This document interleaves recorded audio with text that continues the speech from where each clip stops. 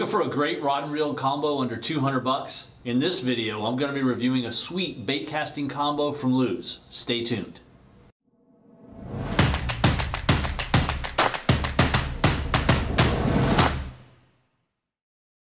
Hey, welcome back. Sean here with Rugged Outdoors, bringing the best of the outdoors to you.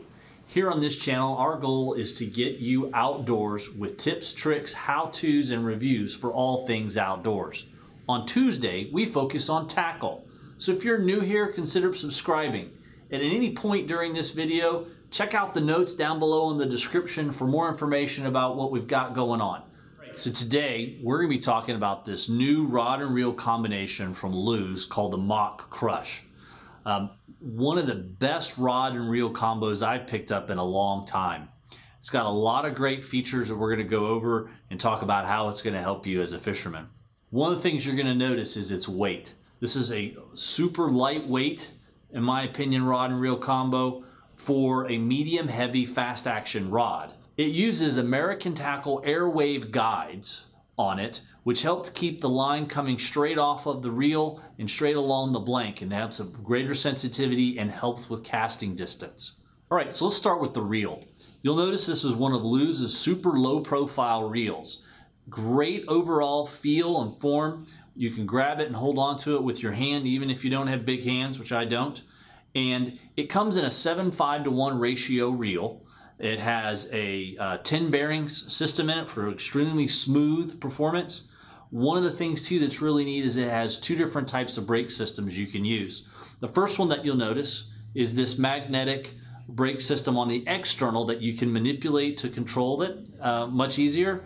It also has the ability for centrifugal brake system on the inside, which again gives you even more control over how you want the brake system to work.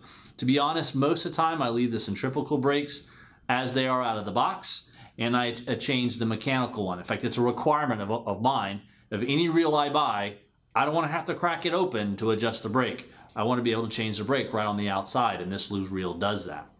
The other thing it does is it has an aluminum spool. It's a little bit smaller, it's a 32 millimeter spool, um, which gives you some different advantages than some reels. Um, this allows us to use light line on here if we want, but also still allows us to use 17 or 20 pound test if we're so inclined for bigger baits and bigger uh, opportunities. Another piece that you'll notice from this is the 95 millimeter handle with these really large Winn grips. Now what's really slick about this is that these grips have a really a non-slip uh, type material that they use for those. So when you grab it, you're not gonna slip off when you're trying to set the hook on a fish um, but it's a really big thing. So if you are using it for deep diving crankbait or you're using it, you want to be able just to crank really quickly, um, this reel is going to help you do that. Right, so there's the reel. And overall, again, it's just a great reel. It looks fantastic. It's in my favorite color, orange and black. So now we're gonna take a look at the rod and the different components of it. You know, I mentioned already that it's a medium heavy fast action rod, seven foot in length. Um, but some important pieces to it is, again, it does feature the Winn's uh, grips, the rod, and the first thing you're gonna notice is this larger butt cap um, on the rod. Really nice, again, features the uh, Winn's grip, uh, which is nice, non-slip. Gives you something really to grab onto if you need to whiz that bait pretty a good far distance. Moving up, you'll notice that again, they continue using the Winn grip along the rod, um, which is really nice and non-slip material. The other thing that I think is really important about this particular rod is the reel seat that they use. The reel seat is a two-piece reel seat. Having that reel seat exposed allows you to feel the bite when it happens much easier than you would if, the, if this uh, blank wasn't exposed there. Moving up, you get the Airwave technology from American Tackle. Again, I think I mentioned it earlier, but again, it allows that line to come off the rod, off the reel in a good, nice straight line and gives you greater casting distance. Um, overall, fishing with it, got some really good action out of it. Um, felt the everything in the water with it, which was nice.